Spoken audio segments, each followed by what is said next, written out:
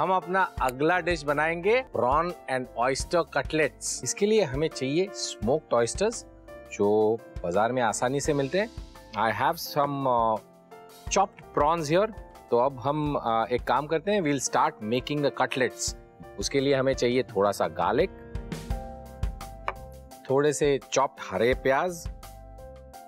We'll also put a little bit of chopped onions in it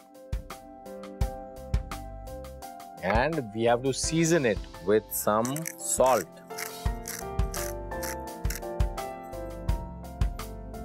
इसे बराबर से mix कर लेना है हमने और इसकी छोटी छोटी टिक्कियाँ बनाएँगे।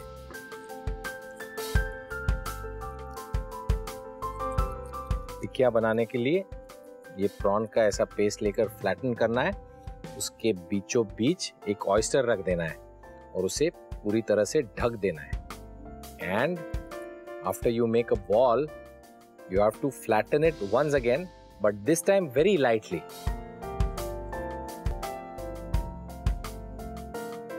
ऐसे थोड़ी और टिक्कियाँ बना देंगे with a smoked oyster in the center तो चलें इस कटलेट्स को हम फ्राई कर देते हैं और जब मैं फ्राई बोल रहा हूँ तो फ्राई यानी डीप फ्राई नहीं एकदम थोड़े तेल में उसको एकदम बराबर से पका लेना है। चलिए, हमारा पैन यहाँ पर मस्त तेज गर्म हो चुका है। A little sprinkle of olive oil and these guys go in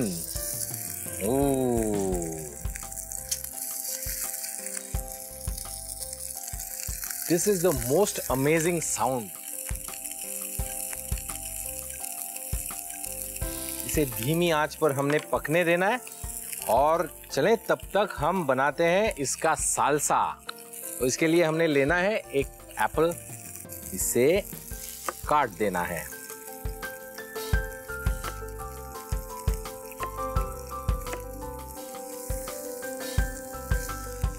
We'll chop the apples up until then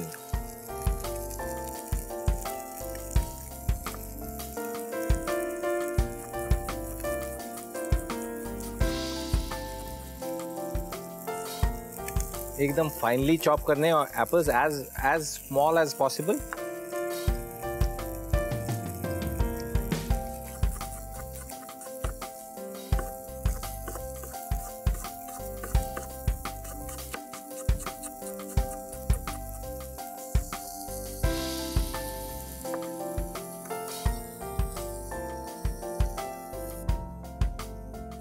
इसमें हम डाल देते हैं चॉप किया हुआ मिंट मिंट इसमें डाल दिया और इसमें हम डाल देते हैं एक नींबू का जूस।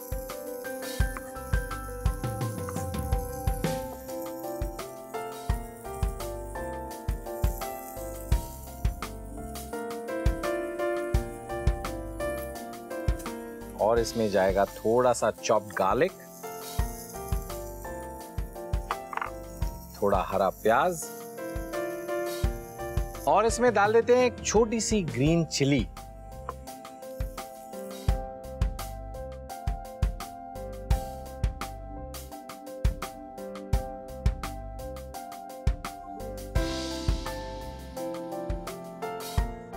एक चुटकी भर काला नमक, बहुत सारे स्वाद के लिए एक चुटकी भर रेगुलर नमक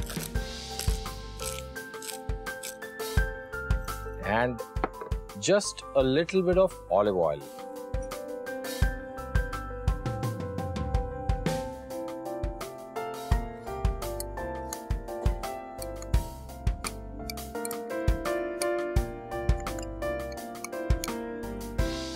एकदम बढ़िया खुशबू आ रही है एप्पल्स की और आ, आ, मिंट की तो चलिए अब हम कर देते हैं इसकी plating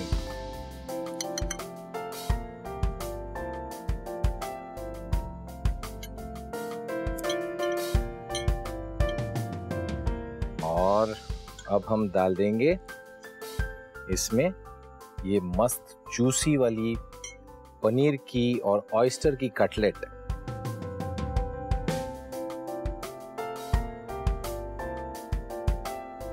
little bit of of